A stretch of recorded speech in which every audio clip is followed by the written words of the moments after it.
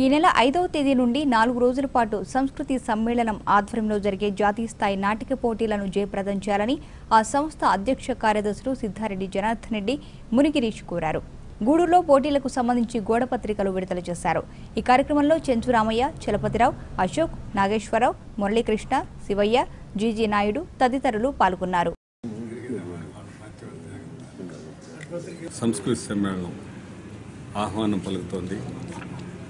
ఐదు ఆరు ఏడు ఎనిమిది తేదీల్లో జరిగే రాష్ట్ర స్థాయి నాటిక పోటీలకు ఈసారి హాస్య నాటికలకు ప్రాధాన్యత ఇచ్చి మంచి వాతావరణంలో చల్లటి ప్రదేశంలో స్త్రీలకు ప్రత్యేకంగా కేటాయించిన ఆవరణంతో ఈ నాటిక పోటీలు జరగబడతాయి.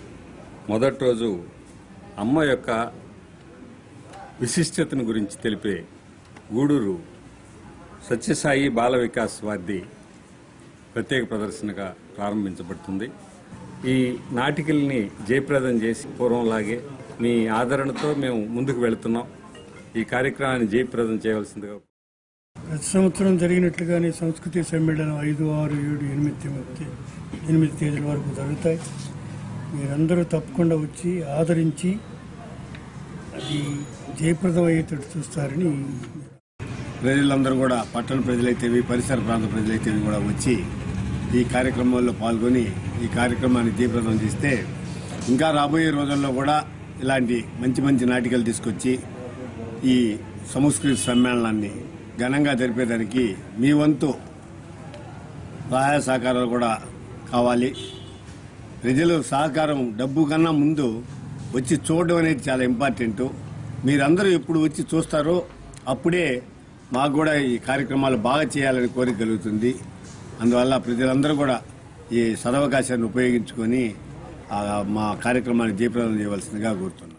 ఈ సమ్మేళనం ఆధ్వర్యంలో మే నెల ఐదు ఆరు ఏడు ఎనిమిది తారీఖుల్లో డిఎన్ఆర్ కమ్యూనిటీ హాల్ ఓపెన్ ఆడిటోరియంలో రాష్ట్ర స్థాయి నాటికల పోటీలు ప్రారంభమవుతున్నాయి. ఎన్నో సంవత్సరాలుగా నిర్వహిస్తున్నటువంటి ఈ పోటీలు ప్రజల ఆదరణ లేదే ఈ విజయవంతం కావు. మా సంస్థ అధ్యక్షులు జనార్దన్ రెడ్డి గారు ఇరవై లక్షల భూరి విరాళాన్ని అందించారు. భవిష్యత్తులో మరెన్నో కార్యక్రమాలు ఇలాంటి కార్యక్రమాలు నిర్వహించేదానికి సంస్థ సిద్ధంగా ఉంది. వారు కూడా ఇంకెంతో విరాళాలను కూడా అందించి సంస్థను ముందుకు తీసుకుపోవాలనే ఉద్దేశంతో ఉన్నారు. కావాల్సిందల్లా గూడూరు ప్రేక్షకుల ఆదరాభిమానులు మాత్రమే. కాబట్టి మేము కోరుకునేది ఏమిటంటే మంచి వాతావరణంలో ఈ ఈ పోటీలు నిర్వహించబడుతున్నాయి. తప్పకుండా ప్రతి ఒక్కరు కూడా విచ్చేసి ముఖ్యంగా మహిళలు వారి పిల్లలను కూడా తీసుకొచ్చి ఈ పాత తరం చెందినటువంటి నాటికలు వారికి చూపించి ఈ వేసవి సెలవుల్లో వారికి కూడా